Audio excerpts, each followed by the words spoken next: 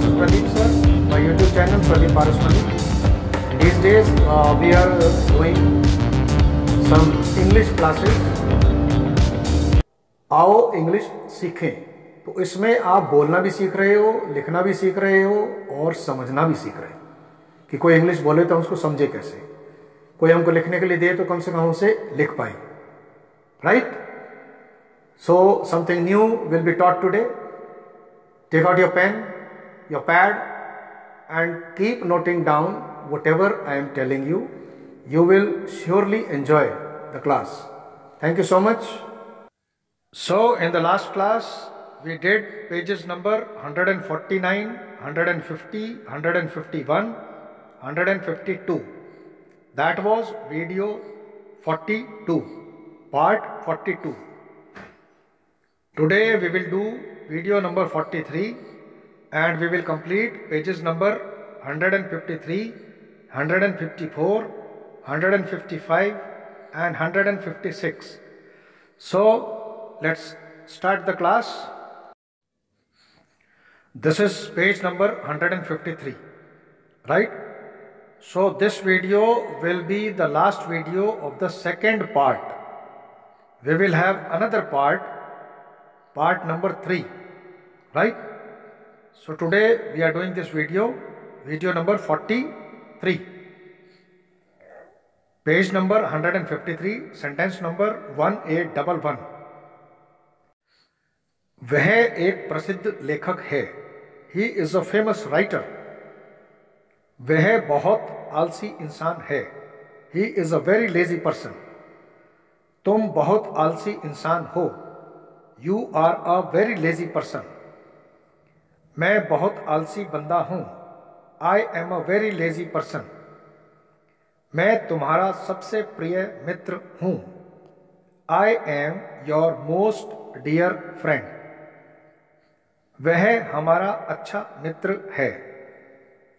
He is a good friend of ours हम एक दूसरे की मित्रता में विश्वास रखते हैं। We believe in friendship with each other वह स्नेहा की सहेली है। शी इज़ स्नेहाज फ्रेंड वे स्नेहा की सहेलियाँ थीं।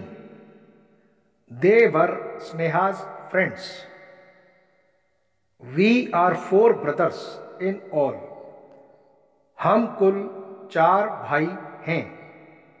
हम कुल मिलाकर चार भाई हैं। तो ये था पेज नंबर 153 अब हम चलते हैं पेज नंबर 154 पर। राइट पहला सेंटेंस है सेंटेंस नंबर 1821 हम सब जानते हैं कि परमेश्वर एक है। We all know that God is one सबको पता है कि परमेश्वर दयालु है।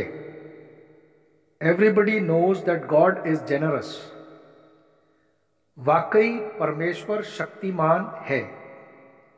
रियली गॉड इज़ पावरफुल मनुष्य स्वभाव से ही कृतज्ञ है। Human is thankless by nature human is ungrateful by nature बड़ी आसानी से ना हम किसी को थैंक यू बोलते नहीं हैं। और मेरी बात आप याद रखना कि अगर आपने थैंक यू कहना सीख लिया तो आपकी ज़िंदगी से आधी परेशानियाँ दूर हो जाएँगी। और अगर आपने सॉरी कहना सीख लिया तो समझो कि सारी परेशानियाँ ज़िंदगी की दूर हो जाएँगी। तो इन दो शब्दों का ना, सॉरी और थैंक यू, जितना मैक्सिमम इस्तेमाल कर सकते हो आप, करते रहो। देखना लाइफ कितनी इजी हो जाती है। राइट ऑल द बेस्ट चलिए आगे चलते हैं। Sentence number one eight two five वह बहुत ही स्वार्थी है। मदद नहीं करेगा तेरी। He is too selfish to help you यह मेरा कर्तव्य है। दिस इज़ माई ड्यूटी यह कमरा बहुत ही गर्म है। This room is very hot पितृत्व एक बड़ी ज़िम्मेदारी है। Fatherhood is a big responsibility मुझे भारतीय होने पर गर्व है। I am proud to be an Indian Delhi से मुंबई 1400 किलोमीटर है। Mumbai is 1400 kilometres from Delhi तो ये था आपका पेज नंबर 154 राइट? अब हम चलते हैं नेक्स्ट पेज पेज नंबर 155 पर।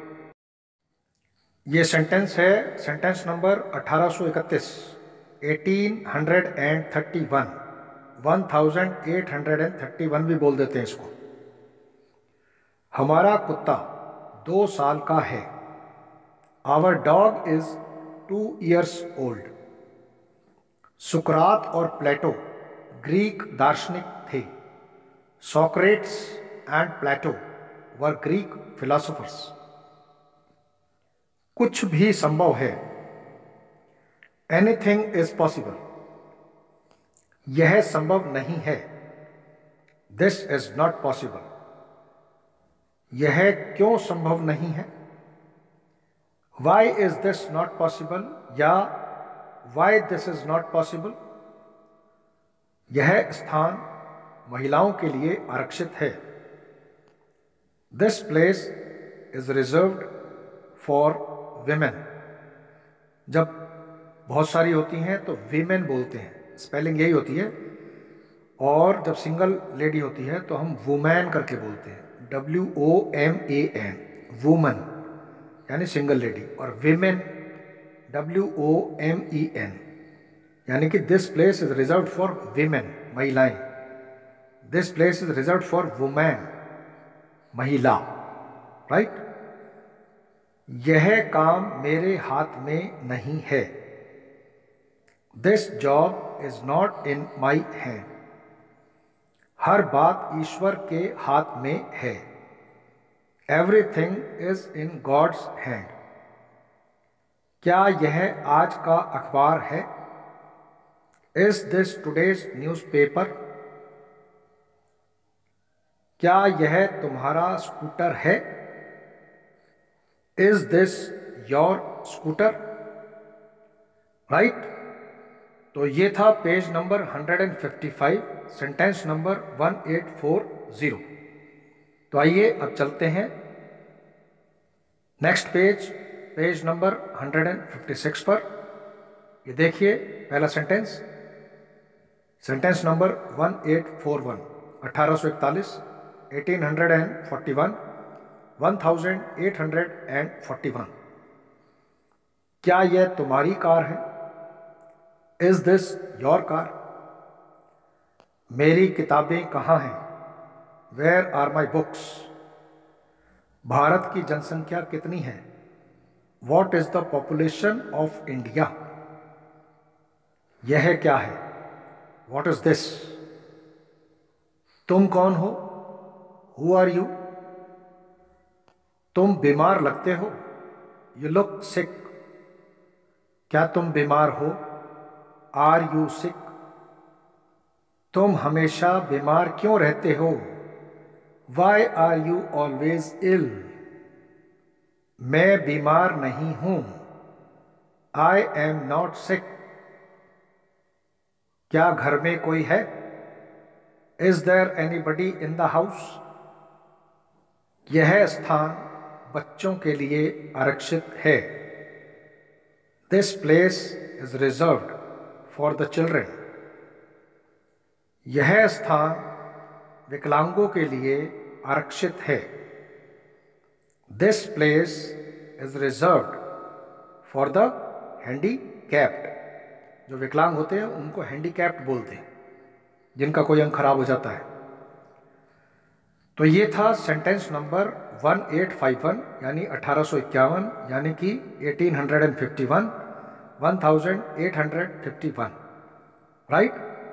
so this was video number 43 page number 156 right अब आप ध्यान से मेरी बात सुनो। ये 43 वीडियोस हो चुकी हैं अब तक। और अगर आप बिल्कुल दिल से मेहनत कर रहे हो, डेली इन सेंटेंसेस को पढ़ रहे हो, देख रहे हो, सुन रहे हो, लिख भी रहे हो तो मैं नहीं समझता कि आपको अंग्रेज़ी में कोई भी दिक्कत आ रही होगी राइट ये सारी वीडियोस इस वीडियो की एंड स्क्रीन में दे रखी हैं। एक एंड स्क्रीन टेम्पलेट मिलेगी आपको एजुकेशन उसमें 43 वीडियोस ऑफ़ इंग्लिश हैं, और बाकी प्लेलिस्ट भी हैं। आप उन सभी को देखो, और आपको मोटिवेशन मिलेगी उनसे। बीच बीच में आपने देखा होगा कि ऊपर सजेस्टेड वीडियोस आई, उनको टैप करेंगे तो भी आपको काफ़ी कुछ मिलेगा, और वीडियो के डिस्क्रिप्शन बॉक्स में आप जाएँगे तो वहाँ भी आपको बहुत सारी प्लेलिस्ट मिल जाएँगी, जो सब्जेक्ट वाइज और मोटिवेशन सॉर्ट ऑफ़ मिलेंगी आपको। तो मेरी शुभकामनाएँ हैं आपके साथ। May God bless you all keep learning keep revising keep talking keep watching right और लिख के भी देखते रहोगे तो बहुत अच्छी बात होगी तो happy learning God bless you all thank you love you all bye जय भारत. जय हिंद. वंदे मातरम।